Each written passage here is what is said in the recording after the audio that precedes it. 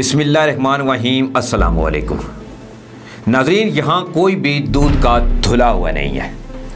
Uzair Bloch और तरीके इंसाफ के हवाले से ऐसे तल्लक़ात जो हैं वो बेनकाब हुए हैं कि आप सोच भी नहीं सकते।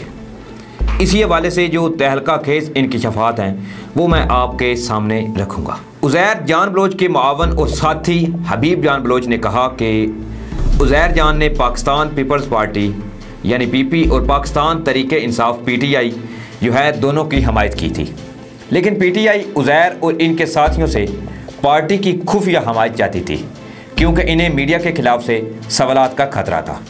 हबीब जान ने वजाहत की कि उज़ैर जान, रहमान बलोच और दीगर ने पीटीआई की आदत को बताया था कि वो हुब्बल वतनी पाकिस्तानी हैं और खुलम खुला हमायत करेंगे और पीटीआई के लिए अपनी हमायत को छुपाएँगे नहीं। और दूसरी जानब, हबीब जान ने दावा किया कि उज़ैर जान बलोच की हमायत के बगैर इमरान खान और सबक चीफ जस्टिस इफ्तार चौधरी जो हैं वो कराची में दाखिल नहीं हो सकते थे और अवामी जुलूस नहीं कर सकते थे।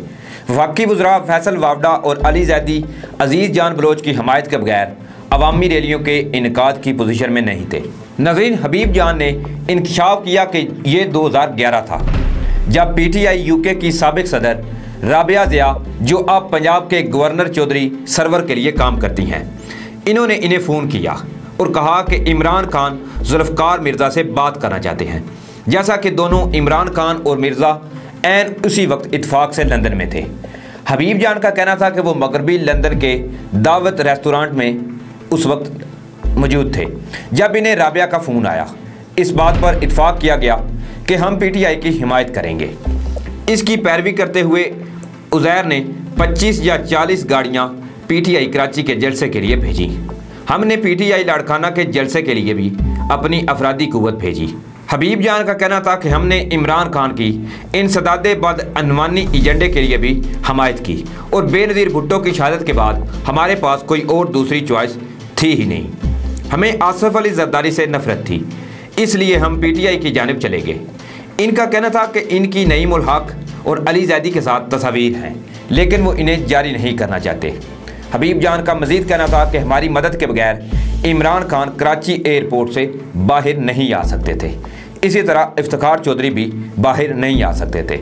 इन्होंने दावा किया कि उज़ैर बलोच ने कराची में अवामी रैलियों के इनका के लिए पी टी आई रहनुमाओं की मदद की और इनकी हमायत के बगैर पी टी आई की ज़रूरत नहीं थी। मैं फैसल वावडा से कहता हूँ कि वो बताएँ उन्होंने किस तरह क्लिफ्टन में रैली निकाली।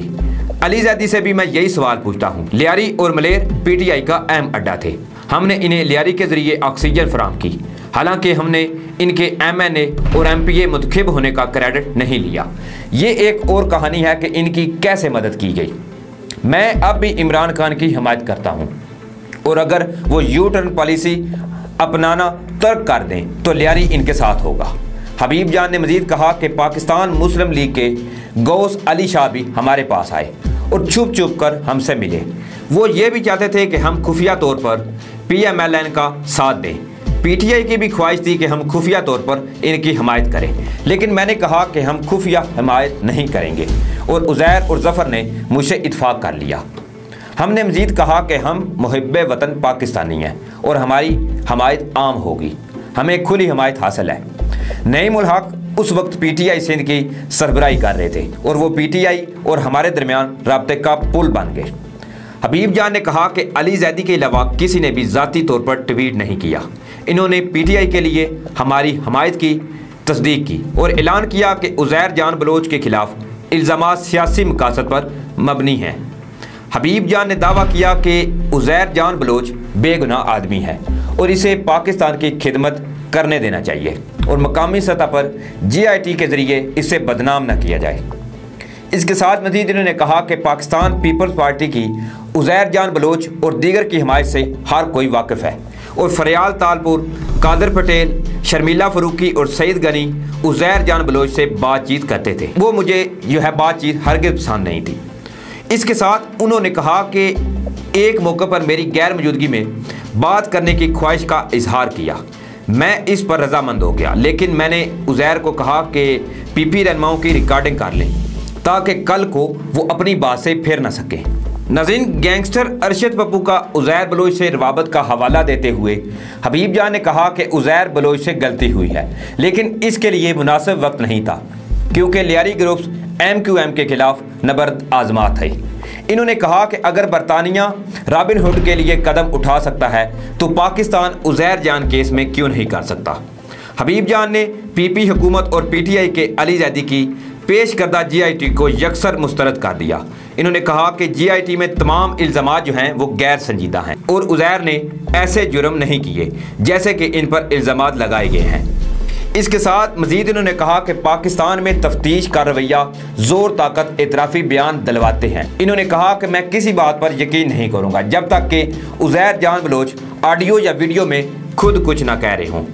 हबीब जान ने मजीद कहा कि इन जी आई टी का कोई फ़ायदा नहीं। जब मुलजमान जमानत पर रहा हो जाते हैं, मैं उज़ैर बलोच के खिलाफ तमाम इल्ज़ाम मुस्तरद करता हूँ और इसके साथ खड़ा हूँ। उज़ैर बलोच इन लोगों से जंग कर रहा था, जो पाकिस्तान को नुकसान पहुँचाना चाहते थे।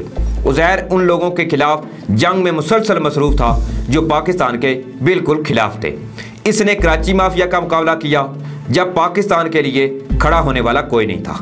मुशरफ ने अल्ताफ़ हुसैन से इतिहाद किया था। रहमान मलक और पीपल्स पार्टी की हुकूमत अल्ताफ़ हुसैन के साथ इतिहाद में थी, और एम क्यू एम के खिलाफ खड़े हुए वाहिद लोग उज़ैर और लियारी के लोग थे। हबीब जान का कहना था कि इन्हें यकीन नहीं कि उज़ैर जान इसमें मुलवस था। लेकिन अगर इसने ये जराइम किए हैं तो भी मैं इनके साथ खड़ा हूँ, क्योंकि उस वक्त ये जवाब था और ये पाकिस्तान के लिए था। हबीब जान ने इल्ज़ाम लगाया कि रहमान मलक और आसफ जरदारी अल्ताफ़ हुसैन के कहने पर लियारी के लोगों के खिलाफ जराइम में मुलवस थे, क्योंकि वो इतिहाद में थे। इसके साथ मजीद उन्होंने कहा कि परवेज़ मुशरफ की अल्ताफ़ हुसैन के साथ इतिहाद करने की गलती की वजह से ही कराची को एक ऐसी लड़ाई में डाल दिया गया, जहाँ उज़ैर बलोच जैसे लोगों को मौक़ इख्तियार करना पड़ा। नाजीन अब ये जो इनकशफात किए गए हैं, ये यकीनी तौर पर इमरान खान को एक बार फिर से फंसाने के लिए एक नई साजिश जो है, वो रची जा रही है। इस तरह लग रहा है कि जैसे पूरी सिचुएशन जो है, वो डाइवर्ट करके इमरान खान की तरफ़, यानी पीटीआई की तरफ़, ये सिचुएशन डाइवर्ट की जा रही है। ताकि ऑलरेडी सब लोगों को पता है कि उज़ैर बलोच जो है, इसने बिलावल हाउस का जो, इसने खुद इतराफ़ी बयान जो अपना मुराद सईद ने कौमी असम्बली में इनका बयान जो है वो सुनाया था पढ़कर, इसमें इसका ये इतराफ़ी बयान था कि मैंने बिलावल हाउस का जो भत्था है, वो आसफ जरदारी और फरियाल तालपुर को मैं भेजता रहा हूँ। उसके करीब जो चालीस घर हैं इनका। तो उज़ैर बलोच जो है, वो ऑलरेडी उसके कनेक्शन जो है, वो आसफ जरदारी से तो लिंक हो चुके हैं। और ये बात हर किसी को पता चल चुकी है कि उज़ैर बलोच जो है, वो पीपी वाले जो हैं, ये इसको इस्तेमाल करते रहे हैं। ये एक गैंगस्टर के तौर पर इनके लिए काम करता रहा है। अब देखते हैं कि क्या इन फ्यूचर रिज़ल्ट सामने आते हैं। तो इसी के साथ मुझे इजाज़त दें, अपना ख्याल रखेगा तब तक के लिए अल्लाह हाफिज़।